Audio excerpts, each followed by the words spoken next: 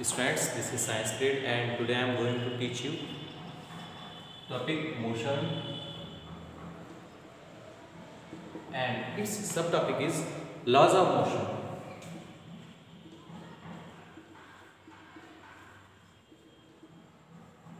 so today will will discuss laws of motion okay there are three laws of motion first law of motion second law of motion third law of motion To first law of motion, we can also say law, law of motion or law of inertia.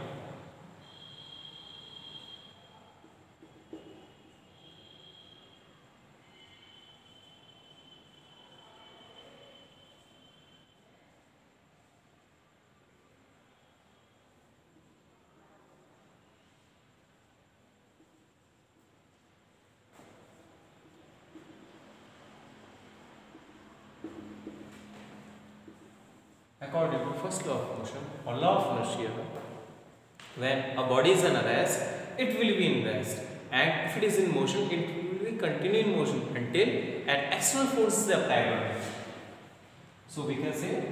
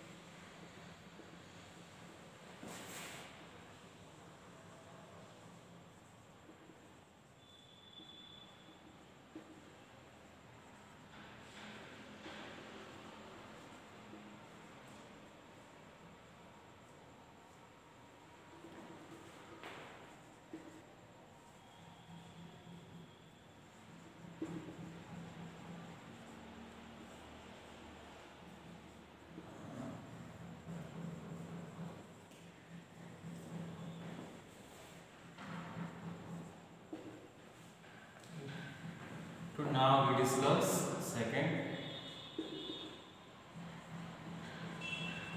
second law of motion.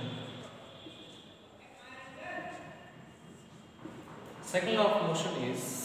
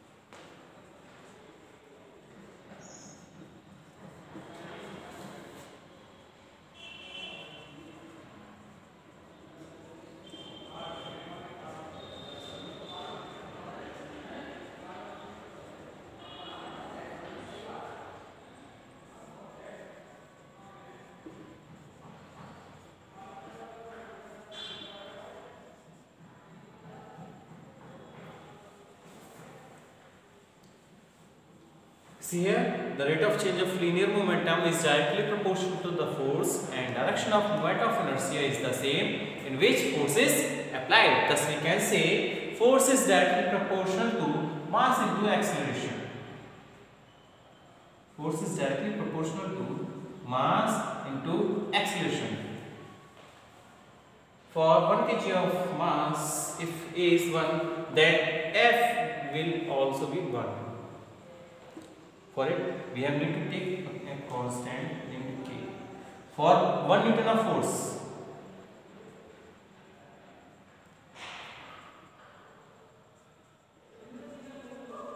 for 1 Newton of force, if we take 1 kg of mass and acceleration is also also 1, then k is equal to 1. If we put k is equal to 1 in this equation, then we can get F is equal to ma. Means F is equal to mass into acceleration. Now we will discuss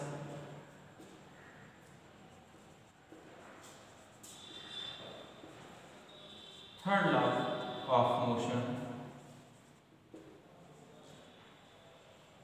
or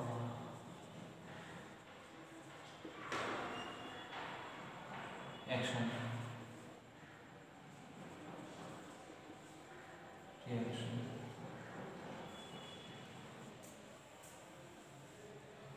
these words were very uh, action reaction law may be written in other form like uh, law of action reaction or any other thing.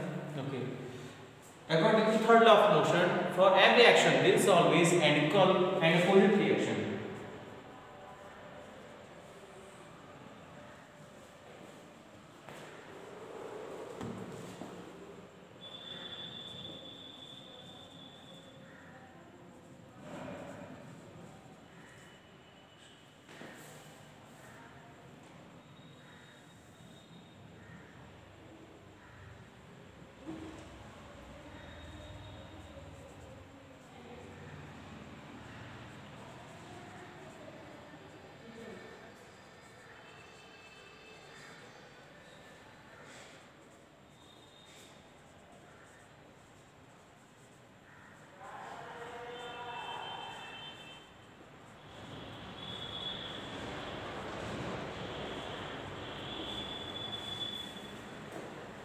If I hit in if I hit this board then the same amount of force will be opposed from both sides. Okay. Now these laws are clear